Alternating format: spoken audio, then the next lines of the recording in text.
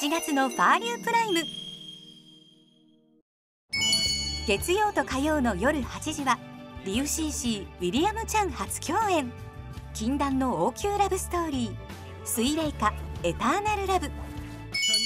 水曜と木曜の夜8時は中国で配信2日目にして1億ビュー突破のラブ刺激「鳳凰連とわの約束」11日土曜からは注目の若手俳優デレック・チャン主演「いつでも君を待っている」がスタート。